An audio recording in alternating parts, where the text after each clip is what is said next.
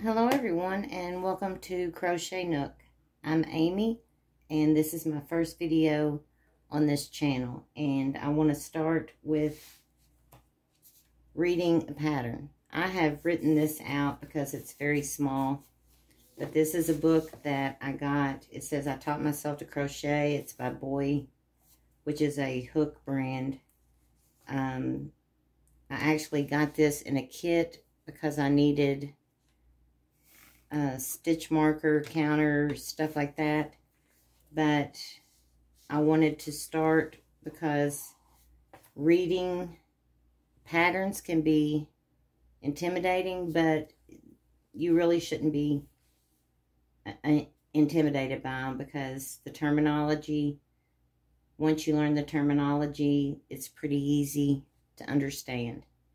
So I have been crocheting for a long time. I learned by books at first, and then the great world of YouTube has shown me a whole lot. I have a few items here that I have made from watching tutorials on YouTube.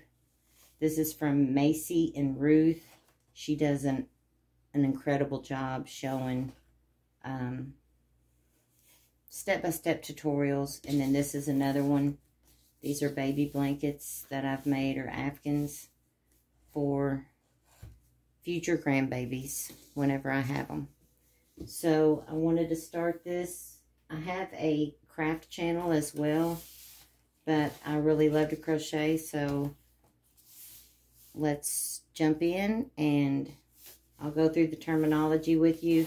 I have chosen um, it has sample sampler stitches. I've chosen number three here. Something easy. It says it's um, it's pretty easy and it calls for a size three, which I have right here. I have one open, so, but it calls for a size three, so that is a light size three this is Lion Brand Baby Soft. And it says to use a size 5 hook or whatever your yarn, because this is considered a lightweight yarn, whatever your yarn calls for. So this yarn calls for a 5 millimeter hook. I believe, yes. 5 millimeter. No, 4 millimeter. So I have this hook. My shirt is hanging. Um, it's a Susan's Susan Bates ergonomics, so it's a USG 6 4 millimeter. I don't know if you can see that.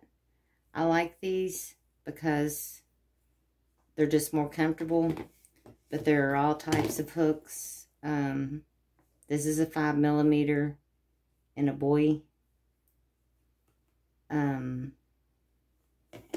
I got these two and I don't even know because they're ergonomic because I needed smaller ones for the baby blankets. I don't know what brand. I got those from Amazon.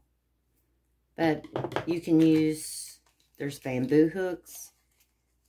When I was needing a particular size at one time, the only um, thing available to me at our Walmart for that size was um, the bamboo they're okay depending on the type of yarn. Sometimes they'll snag. And then you'll usually want a tape measure. This came in this kit, I believe. And a stitch row counter, which I'm not going to use this. These come in very handy. Um, I'm, I have it set for something that I'm working on now, so I don't want to mess with that. These are stitch markers. Um, I also have some little bitty rings. We won't be using that in this. A tapestry needle. I need to get a um, either stainless steel one. This is a plastic one. Um, but that's just for weaving in your ends. A good pair of little scissors. And like I said, I've written this out larger so I can see it better. But we're going to be making this one here. So to start, like I said, I have some open. We're going to start with a slip knot. Now, if you are more advanced in your crochet, you can use the magic circle or magic ring. But this one actually calls for starting with a slip knot. So I make mine like this. I just go like that. Take this yarn, pull it through.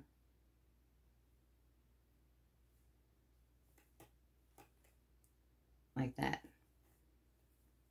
So I go over. Some people use their hooks to do it. Just make a loop. And pull your yarn up. Slip your hook on.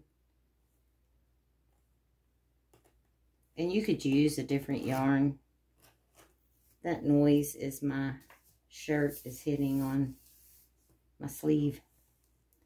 So this calls to chain six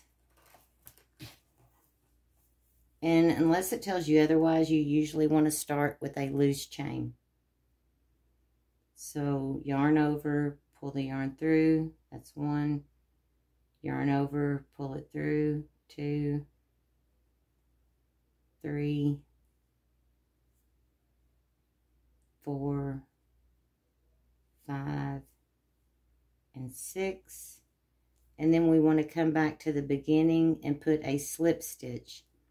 Now, um, slip stitch will sometimes be abbreviated with SLST or it'll say slip ST.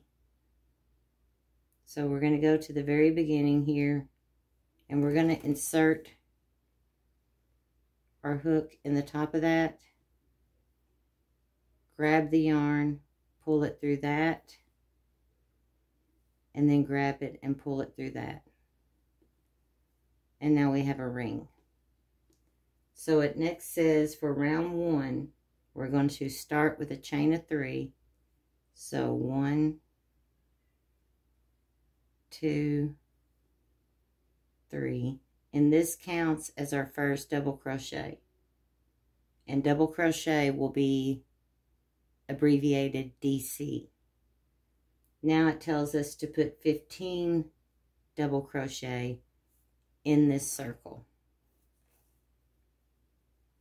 So to double crochet, you yarn over, go into the circle, pull your yarn through. You'll have three yarn over, pull through two, yarn over, pull through two. So it calls to do 15 double crochet in the center of the circle. And I'm kind of going to go over that tail. So yarn over, go into the circle, grab your yarn, pull it up. You'll have two, you'll have three, yarn over, pull through two, yarn over, pull through two. We'll do it again. Yarn over. Go through the hole, the circle. Grab your yarn. Pull it up. You'll have three loops.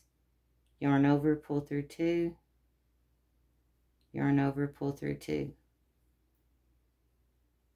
So then we're going to have to make 12 more. So I will do that and then I'll get back with you when we join here at the top.